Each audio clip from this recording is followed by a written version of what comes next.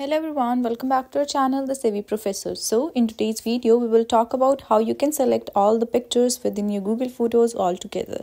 For that I will show you the process both in PC as well as in phone. Now let's look at the process within the PC. So for that you need to first of all open your browser and then there you need to search for Google Photos.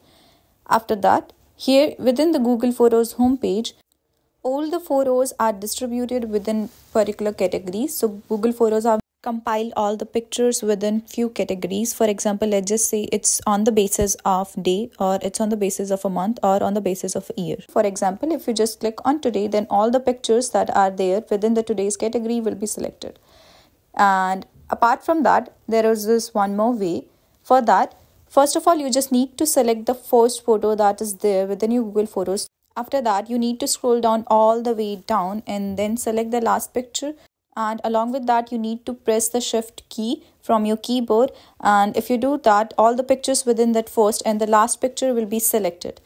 Here, I will suggest you not to select more than two or 300 pictures because if you select like for example let's just say 1000 pictures altogether from your google photos then the website will start lagging up so i will just suggest you to not to select more than 2 to 300 once you're done selecting them here you can see uh, you are having so many options. You can just uh, go to the three bars on the top right hand corner and then there you can download it, all these photos that you have selected or you can make them your favorite categories or you can archive them. After that you can also delete these pictures all the one that you have selected.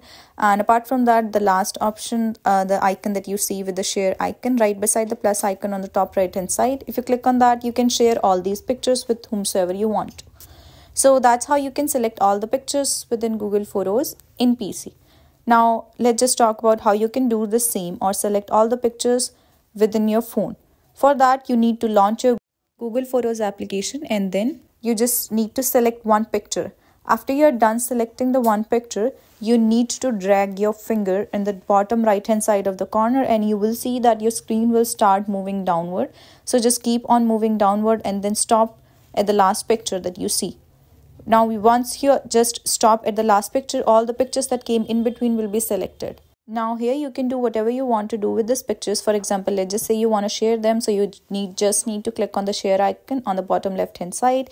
Then you can also delete them if you click on the delete icon which is on the bottom middle center of the screen. After that you can also move all these pictures to your favorite and if you go further you can also move them to your locked folder. So just like that you can do whatever you want to do with this picture so that's how you can select all the pictures within Google Photos, both in PC and in phone. I hope this video helped you out. If it did, then don't forget to smash that like button and also subscribe to our channel.